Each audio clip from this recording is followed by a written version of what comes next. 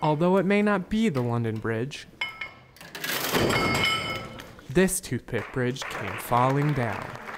The 38th annual Toothpick Bridge competition kicked off in MSUM's Memorial Union Ballroom. Students of all ages came from area towns and schools to enter their engineering creation. 35 students were there and there were about 40 bridges. What they're allowed to use is ordinary round wooden toothpicks put together with wood glue and the entire bridge can't weigh more than two tenths of a pound and has to be at least 56 centimeters across and no more than about 30 centimeters high.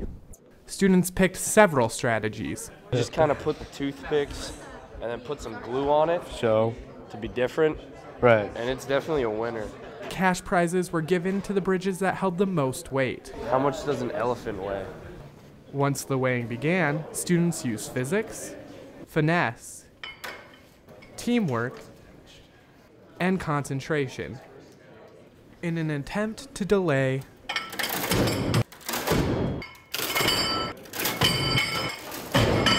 the inevitable. Brian Ashburn, Campus News. The winning bridge held 260 pounds before crumbling under the weight.